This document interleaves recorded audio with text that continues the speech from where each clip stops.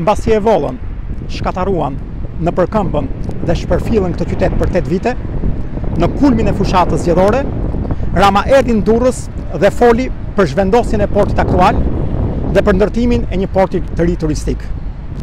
Unë doja t'i shpjegoja qytetarëve të qytetit tim çfarë halli kishte. Pse u detyrua të mashtronte Edi Rama për portin e ri turistik dhe pse është një mashtrim?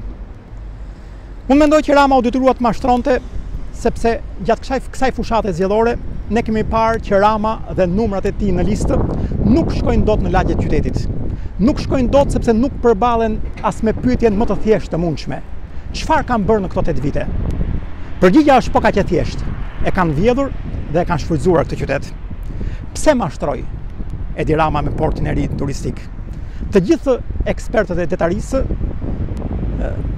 shpjegojnë e bëjnë të qartë se të bëhen investime të tilla kaq strategjike, ndërhyrje të tilla kaq madhore, duhen studime që shkojnë deri në 5 vite, studime të parametrave teknikë, studime që studiojnë thellësinë, studime që studiojnë rrymat ajrore, studime që studiojnë rrymat ujore dhe nuk kemi një studim.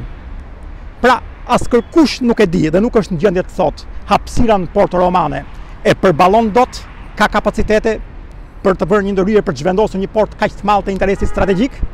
Dhe e dyta, nuk kemi studim as për portin e ri turistik. Për portin e ri turistik kemi vetëm dy foto. Një foto reale nga darka e Nusretit, ku ishin bashkë qeveritarë dhe oligarkë, dhe një foto në 3D të portit të ri turistik. Sepse e vërteta është që edhe kjo është historia e këtyre 8 viteve. Investimet në 3D kanë qenë investimet që kanë përfituar qytetarët, dhe investimet, ndërhyrjet reale kanë qenë ato që kanë përfituar qeveritarët. Unë do të thoja që Partia Demokratike nuk është kundër investimeve strategjike.